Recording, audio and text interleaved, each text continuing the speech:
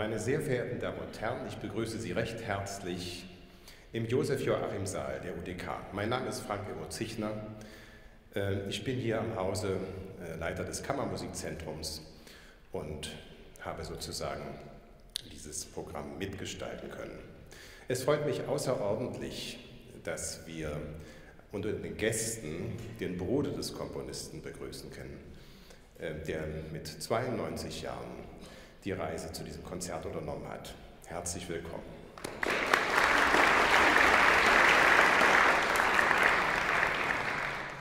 Des Weiteren möchte ich die Botschaftsrätin Frau Erdmann herzlich willkommen heißen.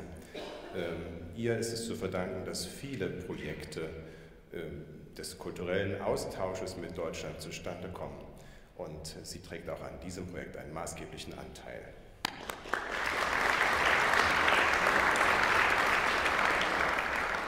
Last but not least gibt es ein herzliches Willkommen für Frau Pitsch. Ihr Verein hat sozusagen mit dem Kammermusikzentrum der UDK gemeinsam an der Ausarbeitung dieses Projektes gearbeitet und wir freuen uns außerordentlich, dass das zustande gekommen ist.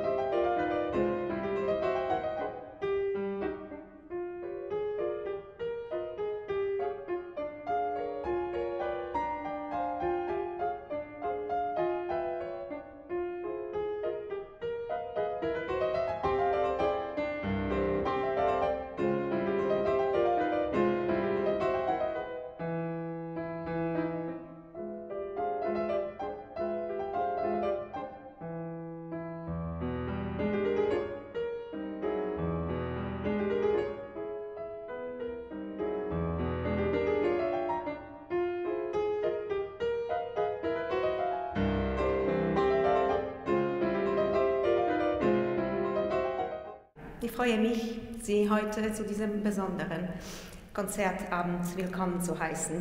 Ich muss sagen, ich bin wirklich bewegt und stolz, dass es dank dem Engagement der polnischen und deutschen Partner gelungen ist, die Musik von Roman Maciejewski zum ersten Mal in seiner Alma Mater zu präsentieren. Erfreulich ist auch, dass sich die Studierenden im Rahmen des Studienprogramms im Herbstsemester mit Maciejewskis Werk auseinandergesetzt haben. Ich hoffe, das Interesse wird an der Hochschule weitergetragen, sodass diese interessanten Stücke in das Repertoire der jungen Musiker eingehen können. Wer war eigentlich dieser Roman Maciejewski? Ein Student der berühmten Nadia Boulanger und von Karol Szymanowski. Gut kannten ihn seine Freunde Artur Rubinstein, Ingmar Bergmann, Igor Strawinski. Dem breiten Publikum war er so gut wie unbekannt. Maciejewski war ein Berliner, Maciejewski war ein Pole, Maciejewski war ein Weltbürger. Die Universität der Künste, der das frühere Sternsche Konservatorium, in dem Roman Maciejewski sein Musikstudium begann, angegliedert wurde, hat die Idee sofort aufgegriffen die Werke ihres ehemaligen Studentes, äh, Studenten den Berliner Musikkreisen näher zu bringen.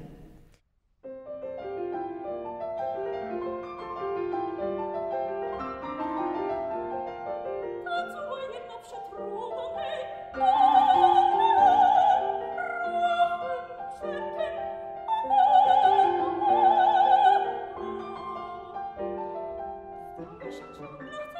Christmas, a beautiful little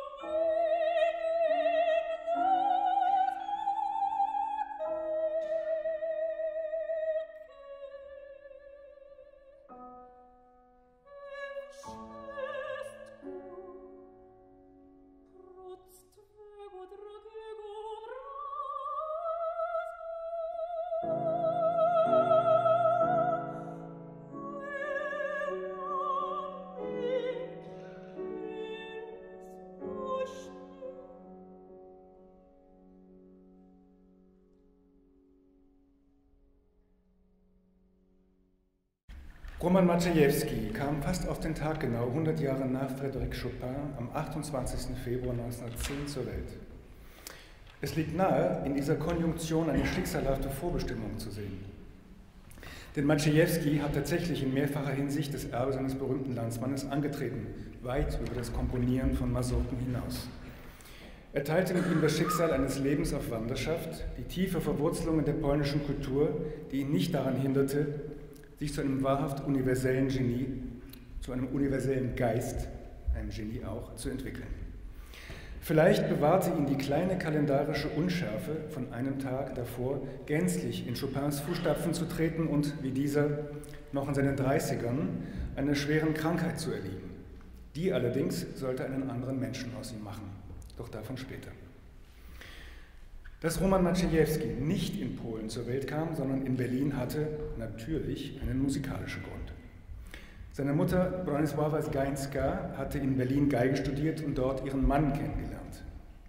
Józef Maciejewski, ein Schneider und Amateurmusiker, der bei ihr Geigenstunden nahm. Roman sog die Musik also gleichsam mit der Muttermilch auf und war im Alter von acht Jahren bereits so weit, dass er zum Klavierstudium am Sternschen Konservatorium in die Klasse von Maria Goldenweiser aufgenommen wurde. 1919, unmittelbar nach der Wiedererrichtung des polnischen Staates, zog die Familie Maciejewski nach Leszno, ein Städtchen 70 Kilometer südwestlich von Posen.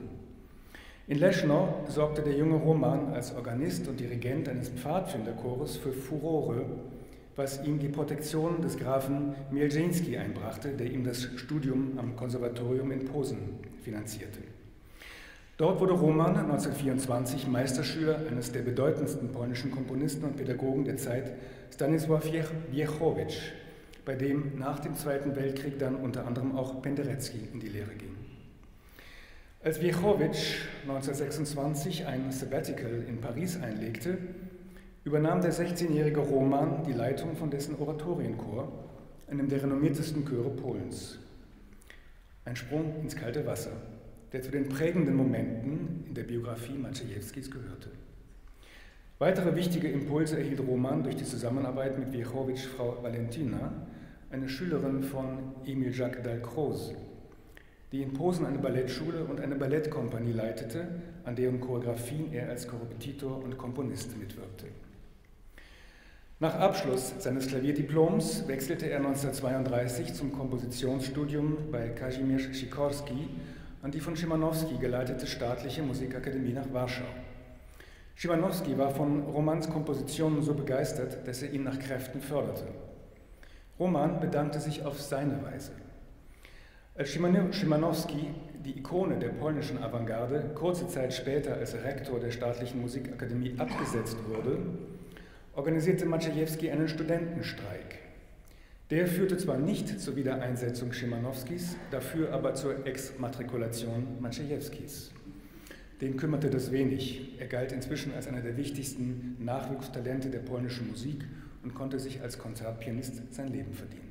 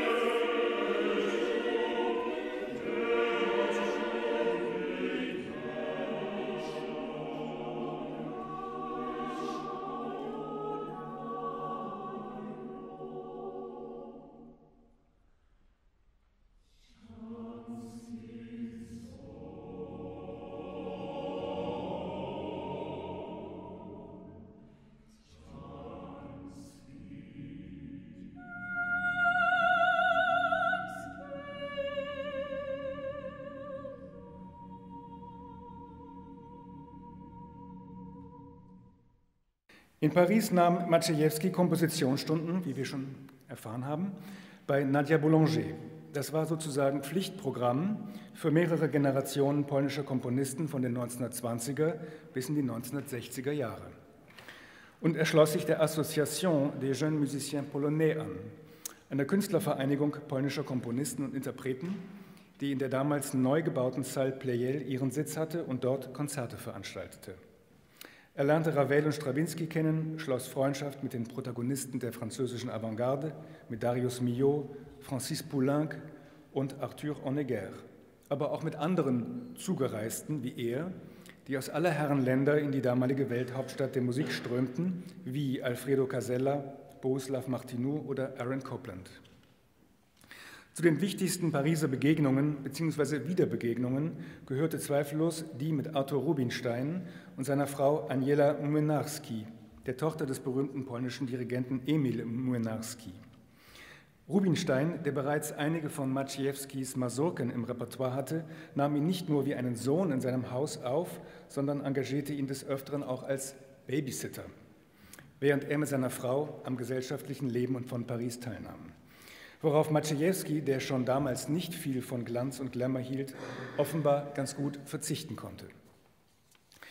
In Paris, schrieb er wiederum in einem Brief an Jerzy Waldorf, in Paris ist es entspannt, weiträumig und sinnlich, besonders für diejenigen, die Geld haben, wofür man hier alles, aber auch absolut alles kaufen kann.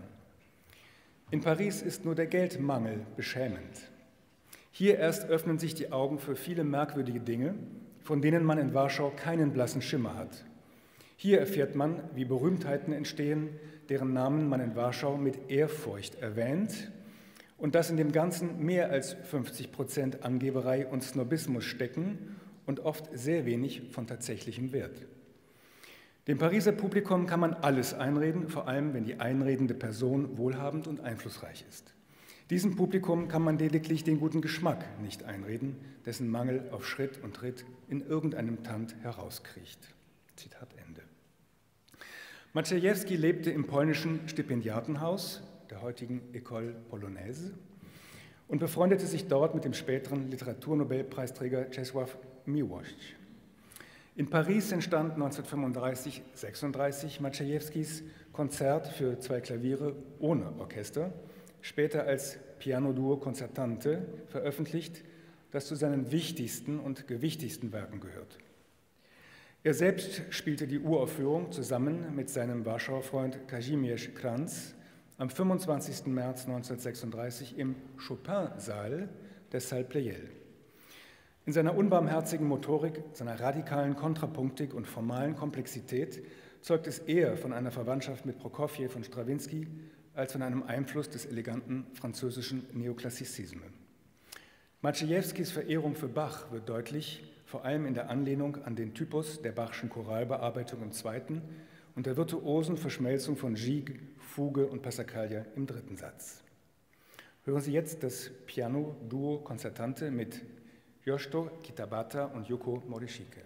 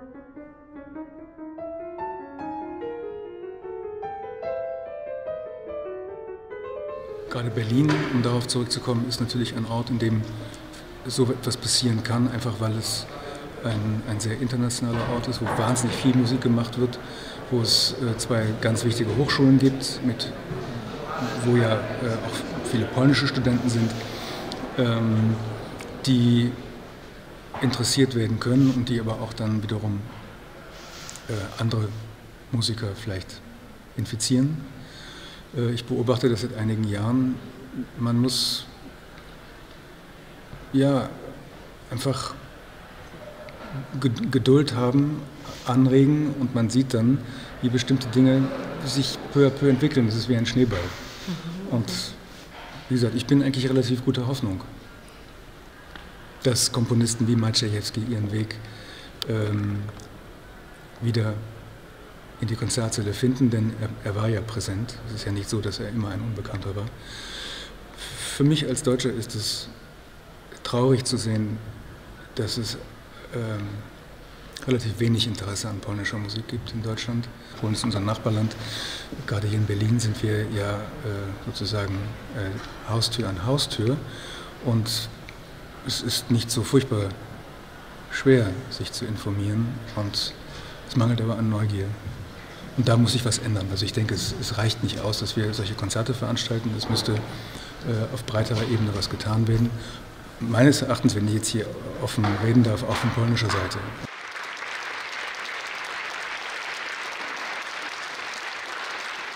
Komponisten wie Maciejewski, ähm, um einfach jetzt mal bei ihm zu bleiben, äh, hat einige Werke geschrieben, die einfach ins Repertoire gehören und die man spielen müsste. Und dieses Requiem muss man natürlich spielen und nicht nur ein einziges Mal, 55 äh, Jahre nachdem es fertig komponiert war in Berlin. Das ist ja eine, eine unglaubliche Schande.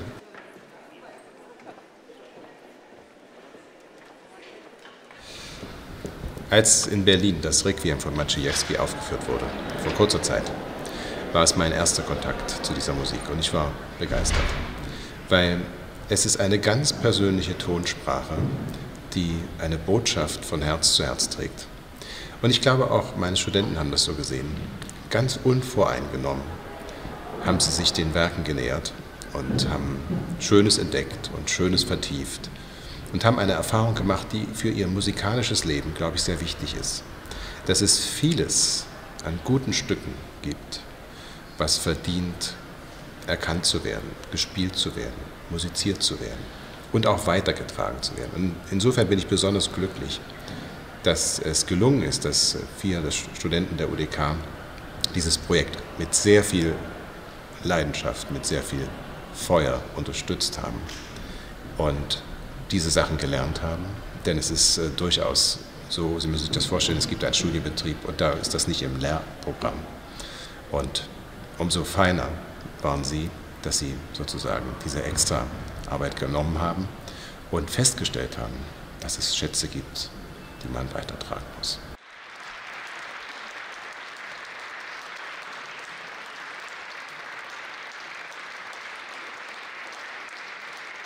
Meines Wissens ist äh, dieser Abend heute eine wirkliche Premiere, nicht nur für Berlin, ich glaube auch für ganz viele Teile Deutschlands, weil mir ist nicht bekannt, dass seine Kammermusikwerke, seine Lieder, seine Masurken aufgeführt wurden. Mit Sicherheit nicht in der UDK.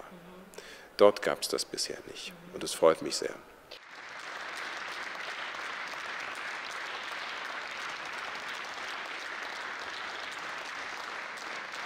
Ich finde, dass diese Zusammenarbeit, die wir hier mit diesem wunderbaren Verein von Frau Pietsch hatten, erstens war es eine sehr angenehme Zusammenarbeit. Zweitens hat es für die Studenten den Vorzug, dass sie Dinge lernen, die nicht im Vordergrund ihres, ihrer Ausbildung stehen. Und ich glaube, nicht ganz unwesentlich in heutigen Tagen ist es, dass die Völker sich mehr und mehr verständigen. Und die bessere Brücke als Kultur kenne ich nicht.